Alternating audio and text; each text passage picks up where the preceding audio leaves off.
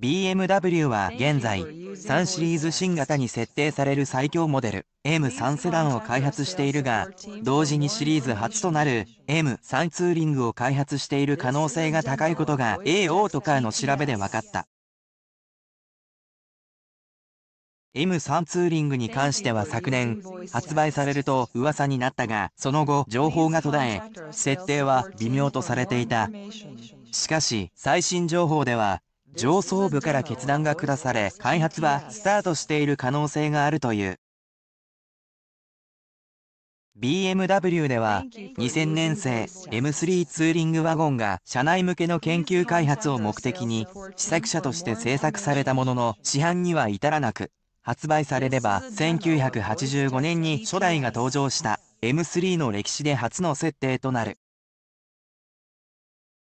CG アーティストのアクショノフ・ニキータ氏から入手した予想 CG では、スプリッターを備えるコーナーエアインテイク、クロスブラックのキドニーグリル、リップスポイラー、ワイドフェンダーなどアグレッシブなエクステリアが見て取れる。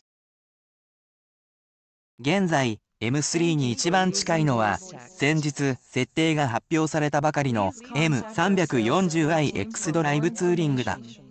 パワートレインは3.0リットル直列6気筒ガソリンターボエンジンを搭載し、最高出力374ピコセカンドを発揮。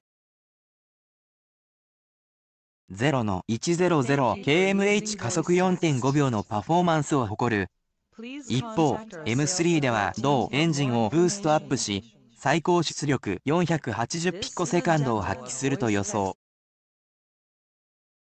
これはライバルとなる AMG C63 ステーションワゴンの476ピコセカンド RS4 アバントの450ピコセカンドを超えるクラス最強ワゴンの誕生となることを意味する。